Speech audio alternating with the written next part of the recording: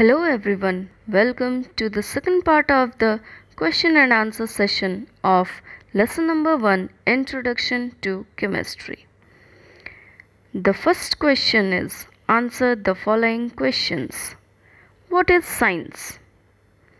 Answer is Science is the knowledge gained from using observations and experiments to describe and explain the world around us.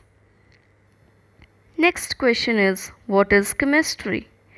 Chemistry is the branch of science which deals with the composition of matter, its properties, how and why substances react to form other new substances, and how these new substances interact with energy.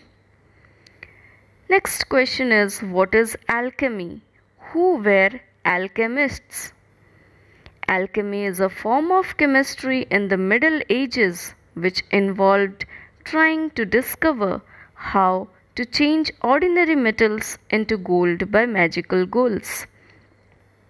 Alchemists were the person trying to change base metals into gold or silver. They were considered as earlier chemists and used all general techniques of chemistry in healing humans. Next, what is Philosopher's Stone? It is a legendary alchemical substance capable of turning base metals such as mercury along with iron and copper metals into gold. Literally, it is not a stone but wax, liquid, or powder with magical power. The next question is What is the use of chemistry in our everyday life? It plays an important role to provide us with things of daily use like toothpaste, soap, detergents, paints, cosmetics, clothes, medicines, fertilizers, plastics, in preparing fuels, etc. Basically, chemistry is all around us and is involved in everything we need, do, and interact with our everyday lives. The next question is how chemistry has helped human beings in the field of medicines. Extensive researches by chemists have led to the discovery of number of medicinal drugs which helps in fighting diseases and have thus increased the lifespan of human beings.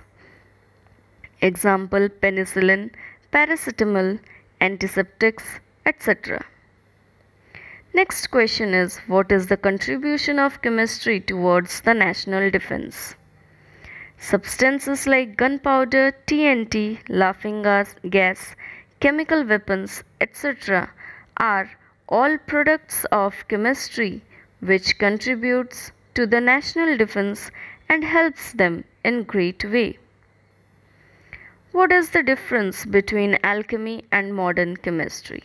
The main difference is alchemy is based on a mystic and supernatural view of reality, whereas chemistry assumes reality depending on the experiments and observations, which is basically natural.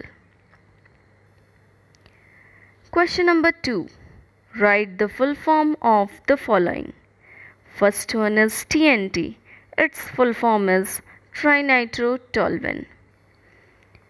Next, DDT. Its full form is dichlorodiphenyl trichloroethane. RDX. It is rapid detonating explosive. CFC. Chlorofluorocarbon. LPG liquefied petroleum gas and BHC it is benzene hexachloride. So students I hope you understood this full chapter well. Thank you.